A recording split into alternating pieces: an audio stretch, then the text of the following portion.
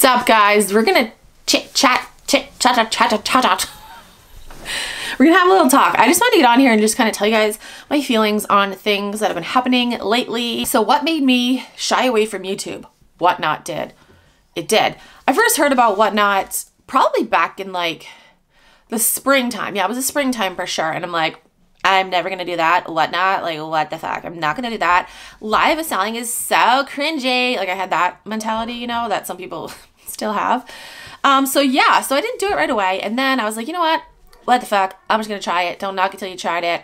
I truly believe, you know, you can have opinion about something, but it's not validated unless you have experienced it. I don't know. What am I trying to say? I feel like I would better have an opinion exactly what I just said. I'd better have an opinion about it if I tried it as opposed to just knocking it and I knew nothing about it and whatever. So, uh, June 22nd, I had my first show and I continued to do shows after that. And then I completely abandoned Poshmark and I was all in on Whatnot, basically. And I've been all in on Whatnot since then. So, four months, four months in a week. So, yeah, so that's what I've been doing. That's why I haven't been making YouTube videos that's what's been happening. Over the past month, I have noticed that things have changed. So Poshmark now has live selling. I have done a couple of Posh shows too. I have a video kind of comparing the two. I am going to do an updated one um, because I feel like I need to do an updated one, but I'll link that first one down below. Poshmark started doing live selling and I feel like ever since then, things on whatnot have changed. Like some people will be like, oh, well, the novelty wore off, but it's just a, it's a weird coincidence that Poshmark has shows now and whatnot has kind of kind of gone to shit. Am I gonna say that? No, it hasn't gone to shit. It's just definitely changed. I'm gonna be honest with you guys. I never give out like my numbers and shit, but I am gonna tell you that in the time that I have been on Whatnot, I've made more money on Whatnot than I made on Poshmark in a full year. So yeah, I made more in four months than I made on Poshmark in a year, which is crazy. Over the past like month or so, things have definitely changed. I have Lululemon shows every Saturday night. Those are my big shows. I make a lot of money during those shows. And the past two show, two or three, no, I think two shows have been kind of like, okay, something's up, something's changed.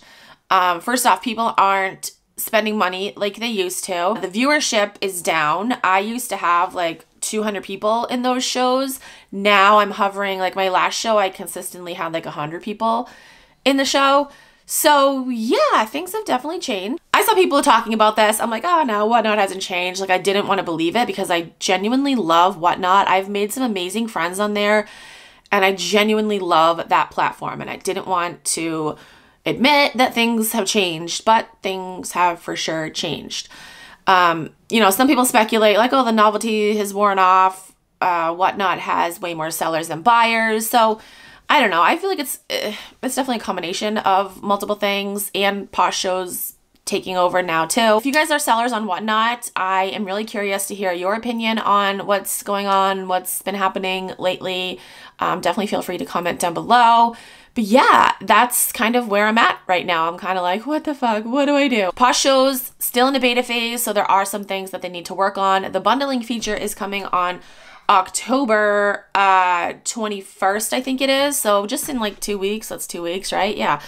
Um, so yeah, in just about two weeks which will be amazing. It is such a pain in the ass not being able to bundle on Poshmark. So when I do my Posh shows, I tell people, yes, I will bundle, but I have rules you know, you have to purchase your bundle like right after the show because I'm either going to ship things depending on when I do my show. I'm either going to ship things that day or the next morning. I don't want to sit around and wait for you to purchase your bundle. So after my Poshmark shows, I go in and I make bundles. Like I create new listings, like bundle listings for people that have purchased multiple things and then it's like sitting around and waiting for them to purchase it. On one of my shows, somebody got pissed off at me because I had deleted her bundle listing that I created and I just sent the individual orders to her.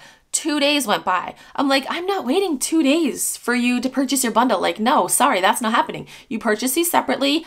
You had the chance to purchase them in a bundle, save that money on shipping. You didn't do it. It literally took you two days to get back to me. I'll give you a little bit of time after my show, but I tell people, you got to purchase it after the show.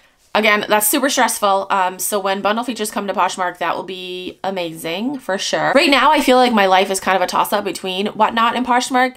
Although I am doing more whatnot shows than Poshmark, but like today, for example, I got a box of inventory in the mail. I'm thinking to myself, like, what platform am I going to run this stuff on? Am I going to do it on whatnot? Am I going to do it on Poshmark? And I'm weighing the pros and cons. So that's stressful. I have seen a lot of people moving over from whatnot to Poshmark. Um, I could name like literally 10 people off the top of my head that were bigger sellers on whatnot, and now they're on Poshmark. There has been some drama on whatnot recently. I guess there was actually, I don't know if it was a seller or a buyer. No, I think it was a seller that was using um, like homophobic slurs on whatnot and whatnot didn't do anything about it. People got pissed off. People were, you know, saying stuff on Instagram, which by the way, I just have to say this. If you're calling out someone that's homophobic, say their name. Like you're not you're not doing anything by saying, "Oh, well, this person said something homophobic, but I'm not going to say their name." Like you're not that doesn't accomplish anything. Your little rant on Instagram doesn't accomplish anything if you're not going to name the person, you know? Like and then people are like, "Oh, well, I don't want the drama." If you don't want the drama, then don't fucking talk about it to begin with. I feel like that causes more drama if you're like, "Oh, well, there's this person that's saying homophobic slurs, but I'm not going to say who they are." Like you're like calling them out, but you're kind of protecting them. It makes no fucking sense. So if it's drama that you're worried about, like just don't fucking talk about it to begin with. Sorry, I just had to talk about that. It's funny because a lot of people were like, I'm boycotting whatnot. And then literally a day later, they were on there doing their shows. They were in people's chats. It's like, really? Really? There definitely has been drama on whatnot. The whole Nicole Snake issue. I do want to address this somebody commented and they're like, why is this video still up? She already paid. It's like, are you fucking stupid? Like, I'm not gonna call her out and be like, okay, she paid. Let's let's delete the video. Let's erase from time that this ever happened. No, no, that shit's staying up. That shit is staying up so people realize what a shady fucking piece of shit she is, okay? Just had to address that as well. I don't know, I just wanted to get on here and just kind of tell you guys my thoughts on uh, what's been going on lately. I really do like live selling. I really enjoy it. I love being in front of a camera talking to you guys and I love reselling. So the two together is literally perfect for me. All right, so that's all I wanted to say to you guys. Just kind of let you guys know where my head is. And I do miss you guys. I do miss making YouTube videos. A bunch of you guys have messaged me over the past like few months and been like, come back to YouTube. We miss you. I'm mad that whatnot is taking you away from us. I do miss making videos. I've literally been making videos for the last 16 years of my life. like that's crazy. I will have more videos coming soon, I promise. But in the meantime, I'll link my Poshmark down below and my whatnot down below. You can check me out on there for live shows. And yeah, you guys should comment down below and let me know your thoughts. If you're a seller, if you're a buyer, what are you thinking? Do you agree with me? Do you disagree with me? What do you think? All right, that's it. Thank you guys so much for watching. I'll talk to you guys in my next video. Bye.